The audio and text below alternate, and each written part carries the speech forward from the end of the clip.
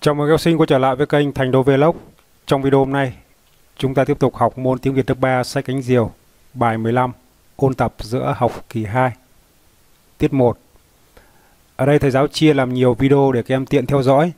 Các em có thể theo dõi toàn bộ video về chương trình môn tiếng Việt lớp 3, toán lớp 3 sách cánh diều bằng cách là các em vào trực tiếp kênh Thành Đô Vlog, các em tìm ở mục danh sách phát nha.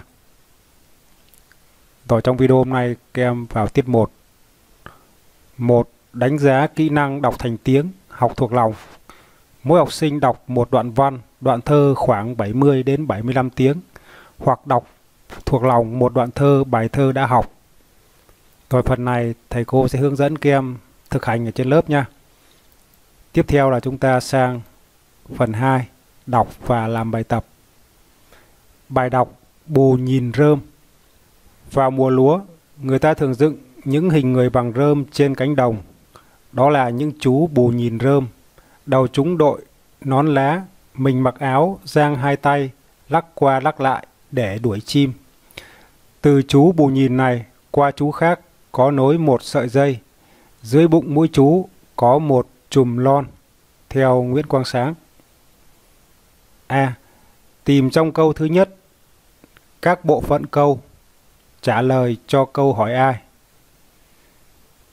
Rồi trước hết là các em đọc lại câu thứ nhất.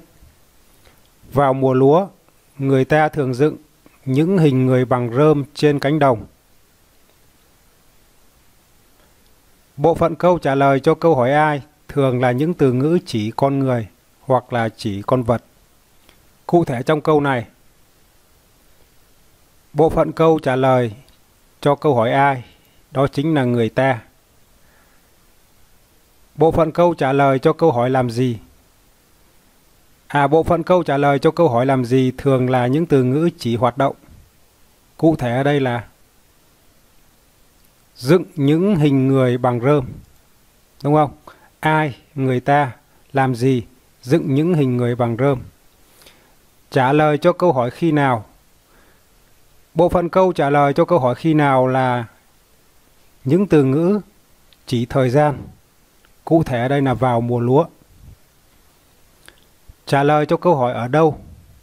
Bộ phận câu trả lời cho câu hỏi ở đâu thường là những từ ngữ chỉ địa điểm. Cụ thể ở đây là trên cánh đồng. Được chưa? Ai, người ta, làm gì, dựng những hình người bằng rơm. Khi nào, vào mùa lúa, ở đâu, trên cánh đồng. Rồi cụ thể là các em sẽ trả lời như sau.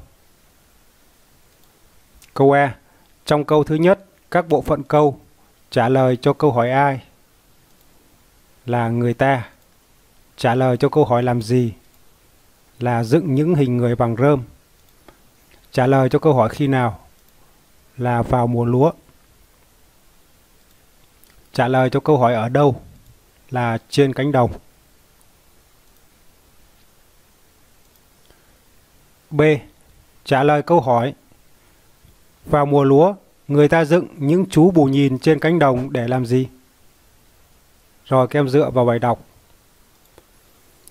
Vào mùa lúa, người ta thường dựng những hình người bằng rơm trên cánh đồng. Đó là những chú bù nhìn rơm. Đầu chúng đội, nón lá, mình mặc áo, giang hai tay, lắc qua lắc lại để đuổi chim. À như vậy là để đuổi chim đúng không?